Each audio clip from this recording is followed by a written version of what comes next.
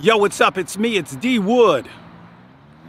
Just wanted to post this to thank everyone who chipped into our GoFundMe. In case you didn't see that, in case you didn't see what happened, we have two sons who have a rare genetic muscle disease. Three of our sons don't have it. And they have wheelchairs, they have power wheelchairs. We can't get the power wheelchairs into the van because we just use this uh, folding ramp. And so we got an estimate on installing a lift in our van, an automatic lift, and turned out to be massively more expensive than I thought it would be. So we did a GoFundMe, and people basically replied, David, why get a wheelchair lift when you can just buy them a spaceship instead? Here's the money for a spaceship. So now I can have Elon Musk build a spaceship for my kids because I have the funds.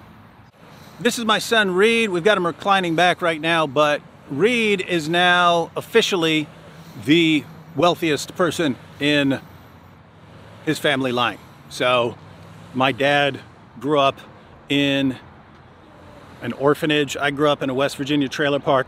Reed can now buy a West Virginia trailer park if he wants one. He has the funds.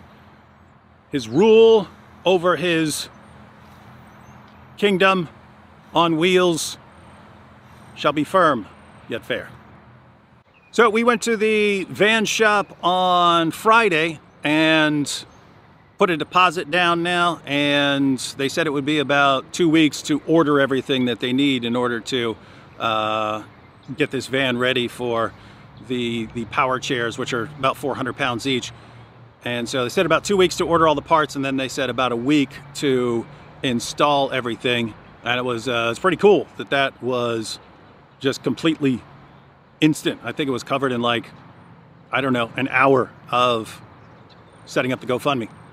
Over the years, my wife has proposed a number of ideas that I thought were a bit much, a bit over the top. So, for instance, my, wife will come in one day and say, Hey, did you know that there's this system of tracks that you can put on the ceiling and it lowers a harness down to their beds and you put them in the harness and then it lifts them and carries them into the next room where it lowers them down into their wheelchairs. And my response would be like, uh, or we could just carry them and then she would say, yeah, but they, you know, they're getting bigger and it's harder to carry them and it's putting a strain on everyone's back. And, um, you know, then I would reply, well, that's what we have older kids for. I started having kids for one purpose, to carry stuff for me. I understand my back's not going to hold out forever. So you get kids and then they get stronger and so my inclination is, yeah, even even though these guys are getting bigger, their brothers are simultaneously getting bigger. I mean, my oldest son Luke is bigger than I am. I'm 6'3". Uh, my son Luke is bigger than I am now. So what's the problem? And she would say, yeah, but Luke and Blaze aren't always around and this and that. And finally, I would just end up saying, look, if you ever see a giant pile of money laying around here, then you can do your little tracks in the sailing plan. Until then, I don't see a good way for that to ever happen. I've been saying that for years. You ever see a big pile of money laying around, then you can do what you want. Anyway, now there's officially a big pile of money laying around, so you may have created a monster here.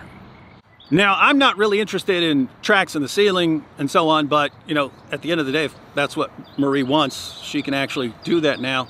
Um, I'm more interested in having steady, reliable, energetic nurses who are really good with our kids. Um, as I've mentioned elsewhere, there's a nursing shortage, so everyone's competing for nurses, and you get home care nurses taking care of kids, and a lot of times they're they're doing that while they're working on some higher level nursing school, and so once they finish that other nursing uh, school, um, then they want to to move on. Or sometimes people will sign up for home care because they have to get a certain a number of hours doing different kinds of things before they can move on to something else. And so some of them are here temporarily, but if someone wants to move on and you've got extra money, hey, I know how to grease some wheels. I know how to sweeten the pot. Right? So now it's kind of a situation where, hey, I've finished my school and now I wanna I wanna move on to work in a hospital. I could be like, nah, I don't think you do. I don't think you want to go. Because my good friend, Ben Franklin, and a lot of his twin brothers really want you to stay because you're really good with our kids. So uh, anyway, it's cool to be in that kind of situation because we're not normally in a, in a situation like that. What's cool is that Marie and I both like to help out nurses who are really good with our kids, right? Like we understand nurses have lives, uh, families, and so on. And so for them to do a really good job with, with our kids, we always have a lot of gratitude uh, for that. So anytime we can, we like to help out the nurses who take care of our kids, especially if they do a really good job. And so it's, uh, it's cool that we can actually um, do that for them right now. Like as soon as we had the GoFundMe, we saw the direction it was heading. Uh, we told our day nurse, who she works five five days a week with our kids. She does awesome job. She's high energy and so on. Uh, but she also has um, a daughter who's almost three, and you know she has to get different family members to watch her daughter while she's at work and so on. So we were able to to go up to her and tell her that um, that we'd cover daycare for her daughter while she's with our kids to uh, to make things easy easier for her.